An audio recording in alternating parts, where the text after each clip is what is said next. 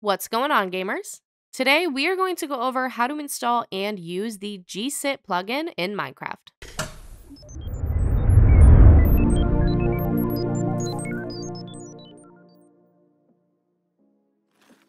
Before we get started, don't forget to like, subscribe, and click that notification bell to stay up to date on all future videos.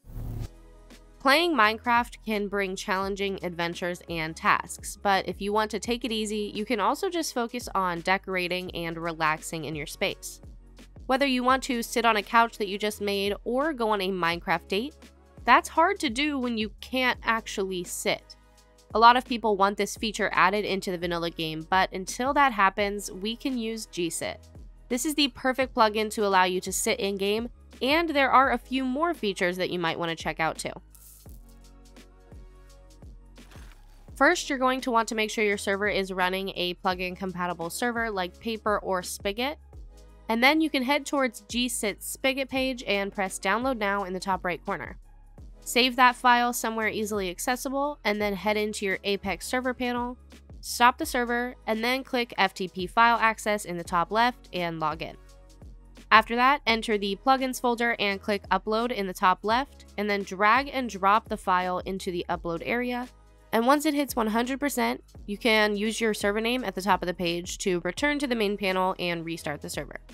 Finally, once that loads, you can join the server and use the forward slash plugins command to see if it's installed. The feature most players want is the ability to sit down in Minecraft, which is likely the first one you're going to try with gsit.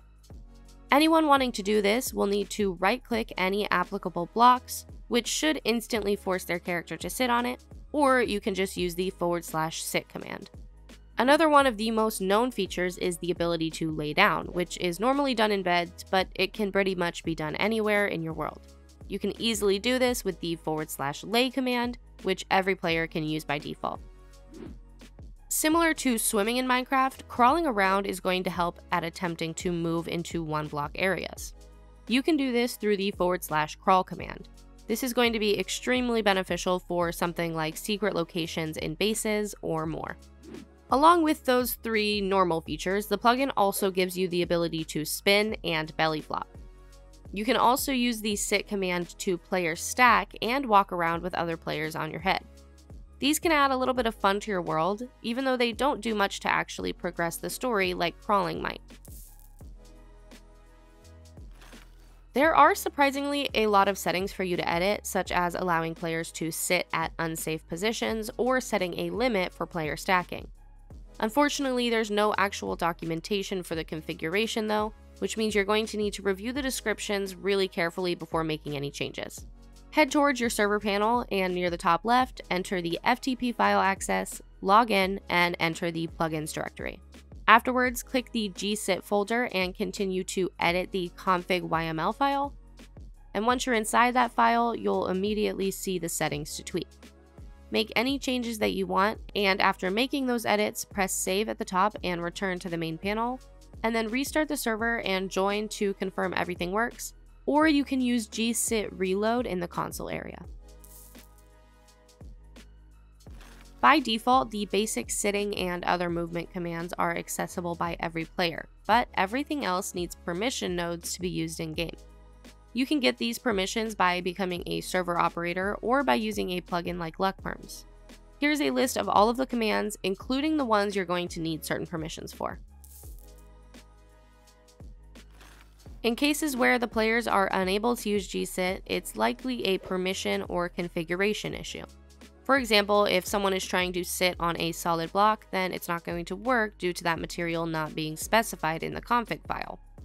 Other than that, make sure the player is trying to use a command allowed by everyone and not one where a certain permission is required.